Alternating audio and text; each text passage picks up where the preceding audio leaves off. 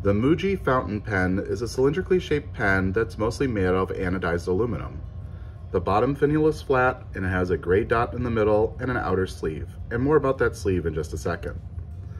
The top finial is flat and it features a gray dot. We then have a short and fairly thin bent metal clip, which is springy and functional.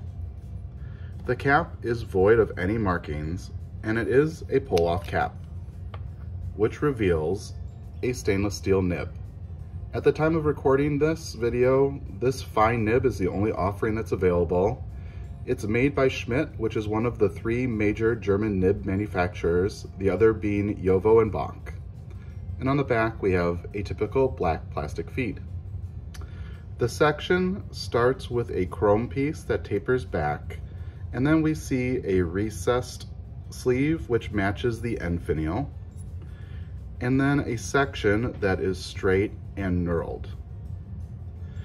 The section is flush to the pen barrel and the pen barrel is then straight all the way back. In the hand, the pen is lightweight, well balanced, and a comfortable length for long writing sessions. The knurl texture on the section is very comfortable and gives you good grip. The cap posts through that back sleeve and it makes the pen a little bit longer, but it's an extremely lightweight cap and it doesn't really alter the balance in any way. In terms of size comparisons, here's the Muji fountain pen, a typical Pilot G2 rollerball pen, and your standard Sharpie. Before we get into the disassembly of the Muji fountain pen, I wanted to take a moment here to compare it with a few other models. Up top, we have the Lamy CP1, which is another thin cylindrically shaped fountain pen. This one is primarily made out of brass with a black matte coating, and it also features a brushed stainless steel clip that's spring-loaded. Next, we have the Lamy 59, which is the predecessor to the Lamy CP1. In all dimensions, it's virtually identical to the CP1, however, it has a stainless steel outer shell. And down below we have the Hongdian A3, which is perhaps the most different of the bunch, but it is similar to the Muji fountain pen in the fact that it's also made out of aluminum. We can see in the cap form, the Muji is just a little bit longer than the Lamy's, and the A3 is significantly shorter than the Muji fountain pen. As I mentioned, the Lamy's both have spring-loaded clips, whereas the Muji and the A3 have bent metal clips. Let's take a look at these pens with their caps removed. All pens have caps that pull off. The Muji is the longest pen again in this form, followed by the Lamy's, and the A3 is about the same length as the two Lamy's.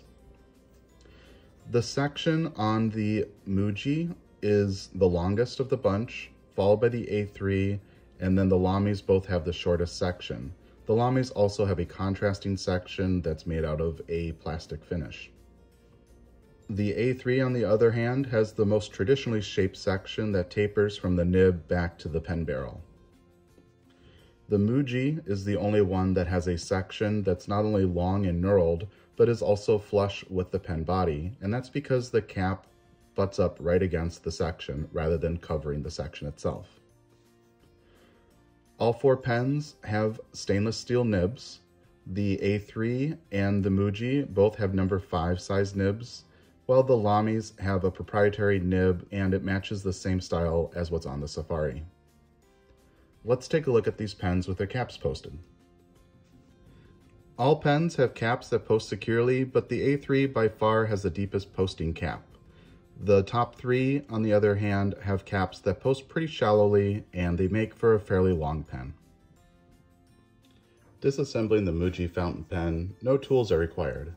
Cap pulls off, and if we take a look inside, we can see there is a cap liner, but it's held inside with friction, so I would not recommend disassembling it.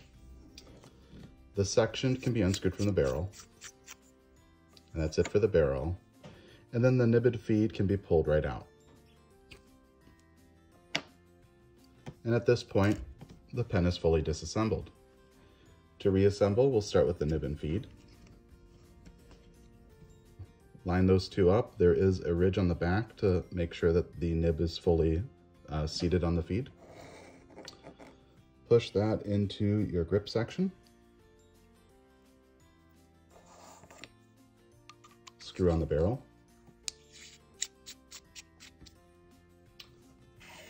Followed by the cap. And now we're ready to ink up. Inking up the Muji fountain pen, no converter was provided, but it did come with a short international cartridge. Simply unscrew the back barrel and insert your cartridge. And then reinstall your back barrel. Give it a few moments and we'll be ready to write. Okay, writing with the Muji fountain pen. Cap pulls off.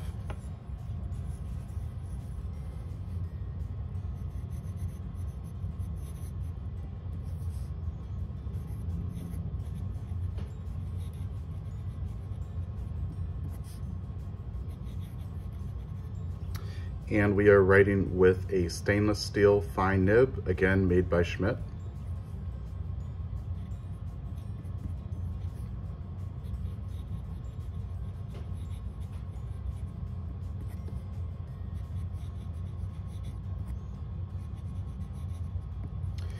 And I really like this nib. It's smooth, it has a moderate amount of feedback, so much so that you can feel the page that you're writing on, um, somewhat similar to writing with a number two pencil, but it's not at all scratchy or toothy.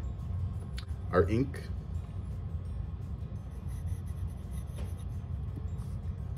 is just a standard black, which came with the pen. For flex, I'm gonna turn the page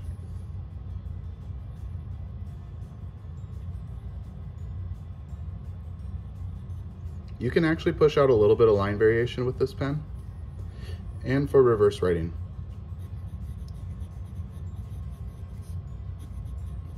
It's pretty smooth, but quite dry. So I would say if you were in a pinch for a thinner line, you could reverse write, but it might not be the most reliable in the world. So what do I think of the Muji fountain pen? I really like this pen. I love its minimalist style and I think the contrast between the grip section and the rest of the pen has kind of a charming look to it. I find it extremely comfortable in the hand, especially due to this knurling that was used. It's a very fine knurling that gives you good grip. And considering that the pen is only $20, I really love the fact that it has a Schmidt nib. As I mentioned, this is probably one of my favorite nibs from the big three nib manufacturers. Now, is this the perfect pen? No, I think there is certainly room for improvement, and I'll go over some of those right now. I think probably the biggest one is the way that you post this cap. You see it has to sit inside this sleeve, and the tolerances are just a little bit tight on this pen, where it requires a lot of pressure to secure it in place. Furthermore, when I pull it out, it actually makes a popping sound suggesting that there is a little bit of a pressure buildup underneath. Also, when it's posted, the pen is quite long, and that is a complaint that I also had with the Lamy CP1. However, I don't really have that much to complain about with this one because when I have a long pen, I tend to just transfer my grip a little bit further back. And since this is such a long grip section, it's still a very comfortable pen when it's posted. Um, another area where this could be improved is the fact that this is only offered in a fine nib. Schmidt makes some beautiful nibs, and I wish that they would consider opening this up to their mediums and their broads. And then another thing with this pen is the filling system. At $20, I think it would have been nice if Muji included a converter. I love international short cartridges because they're offered in a huge variety of colors, but look at the size of this barrel. It could easily have accommodated a converter. And lastly, the last area for improvement, I think with this pen, would be just the color. The fact that this is an anodized aluminum pen means that it should be pretty easy to produce this in other colors And especially in this hobby, I think that's a big miss. There's so many people who love collecting pens of all different colors, and this one I think would have a great following if it was available in more. But with all that being said, it is a fantastic pen, a nice minimalist style that's comfortable and feels somewhat like writing with a number two pencil, which makes it a very good entry-level pen for people who just want to get into fountain pens. Also, it has one of my favorite nibs, so you can't go wrong with that. And that just leaves me to say,